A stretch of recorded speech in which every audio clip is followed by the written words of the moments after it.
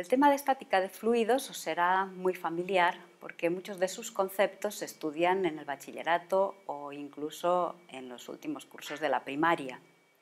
Seguramente conocéis el principio de Pascal, eh, el principio de Arquímedes, la ecuación fundamental de la hidrostática. Todos estos son conceptos que en las asignaturas de ingeniería de fluidos también se revisan e incluso puede que hayáis, eh, os hayan definido el tensor de esfuerzos y también puede que hayáis calculado fuerzas sobre superficies planas y superficies curvas. Entonces, los objetivos de este tema pasan principalmente por dos conceptos. Definir el elemento de volumen de un fluido y el segundo es el tensor de esfuerzos, si no lo conocéis. De aquí se sigue de forma natural en el momento que imponemos la condición de equilibrio mecánico sobre el elemento de volumen todos los principios y todos los resultados de la estática de fluidos. El principio de Pascal, el principio de Arquímedes, la ecuación fundamental de la hidrostática, etc. Entonces, estos son los objetivos del tema y pasamos directamente al elemento de volumen del fluido. El elemento de, volumen es un volumen lo suficientemente pequeño para que podamos considerar que en él las magnitudes físicas son constantes. Eh, no puede ser matemáticamente un diferencial de volumen, sino que físicamente debe ser algo un poquito más grande. ¿Por qué? Porque si vamos a una escala tan microscópica en la que empezamos a distinguir eh, moléculas y átomos, en ese punto ya el fluido no está en régimen hidrodinámico, estará en otro tipo de régimen. Entonces, el elemento de volumen es una porción pequeña del fluido que viene determinada en coordenadas cartesianas por su vector de posición y su forma, en este caso, sería prismática. El elemento de volumen físico nos permite conectar con la dinámica de fluidos computacional, porque es en este volumen de fluido donde vamos a escribir los balances microscópicos. Entonces, sobre el elemento de volumen se pueden distinguir dos tipos de fuerzas fuerzas de volumen y másicas también, pero que son fuerzas en todo caso ambas que se ejercen a distancia y fuerzas de superficie o de contacto que se ejercen a través de superficies, de paredes. En, en la figura, pues por ejemplo, si tenemos dos elementos de volumen, esta fuerza dF es la fuerza que el elemento de volumen de la izquierda ejerce sobre el de la derecha pero evidentemente existe un, elemento de fuerza dF idéntico y de sentido contrario aplicado en el mismo punto que ejerce el elemento de volumen de la derecha sobre el de la izquierda. Bien, sobre, a partir de las fuerzas de contacto, fuerzas de superficie, podemos definir lo que es el esfuerzo. El esfuerzo no es más que la fuerza por unidad de superficie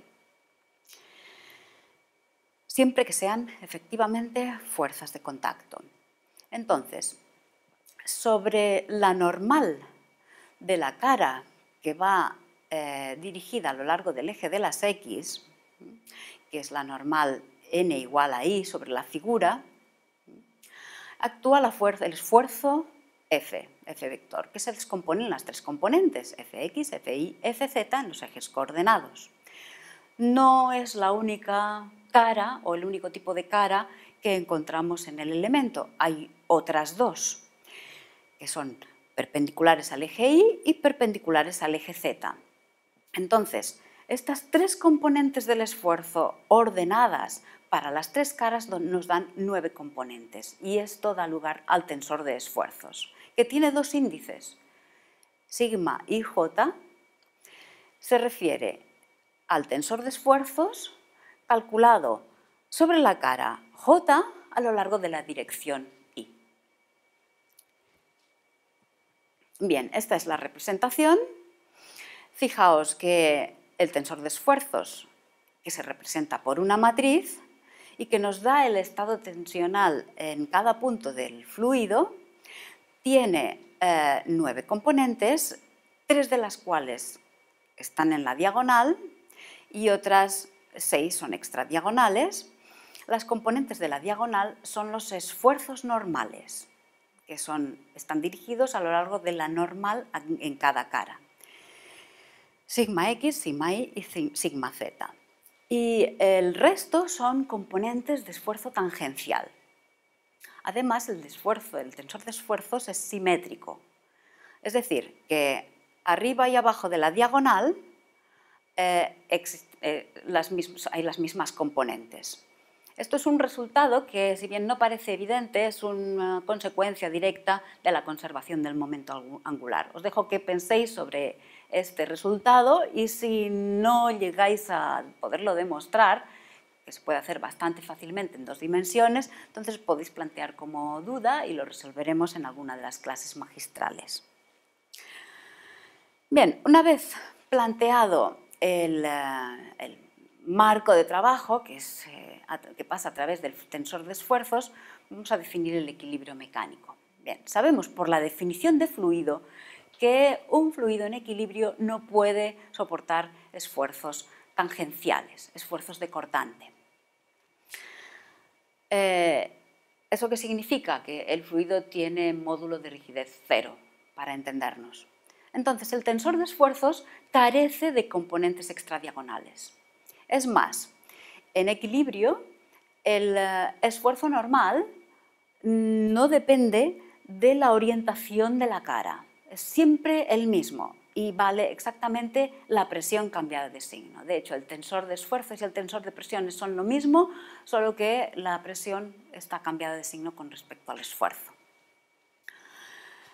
Entonces, el balance de fuerzas de presión y másicas, porque hay que contar también con el peso del elemento de fluido, nos proporciona la ecuación diferencial de equilibrio, que es la que se muestra aquí, que integrada en un fluido incompresible nos da la ecuación fundamental de la hidrostática, que conocéis muy bien.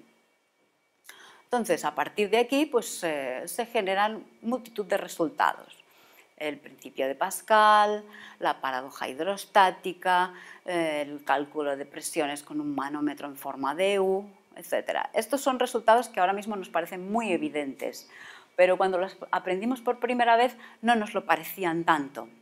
Y de hecho, en la época en la que se estudiaron los, eh, fenómenos de la estática de fluidos, eh, no eran en absoluto evidentes. Se tarda mucho tiempo hasta que un cuerpo de conocimiento pasa al bagaje cultural de la sociedad. Y eso solamente si tienes acceso a la educación eh, obligatoria.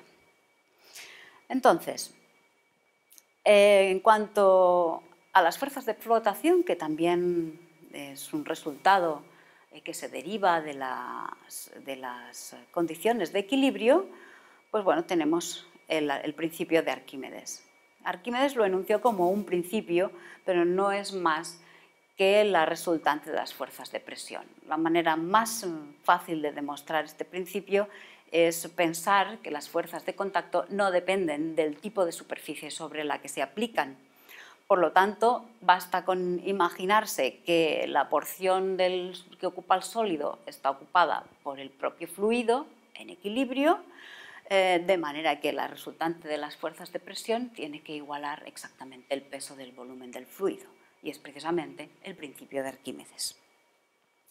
Finalmente, las fuerzas sobre superficies planas sumergidas y las fuerzas sobre superficies curvas, seguramente las habréis calculado en los cursos de grado, eh, son una aplicación muy importante que, por ejemplo, podemos referirnos a compuertas, a diques, etc. En general, en estos problemas, las cantidades que son interesantes son la fuerza resultante de, las presiones y su punto de aplicación.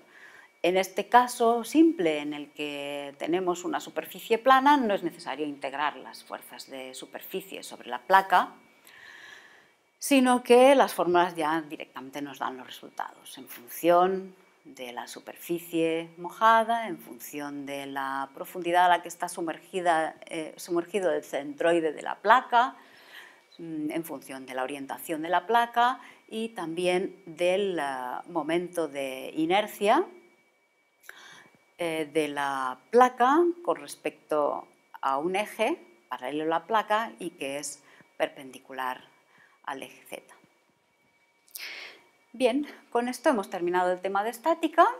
Eh, plantead vuestras dudas una vez que hayáis leído el tema, el tema de estática de fluidos en PDF y los podéis plantear, todos vuestros, todas vuestras inquietudes las podéis plantear en las clases magistrales.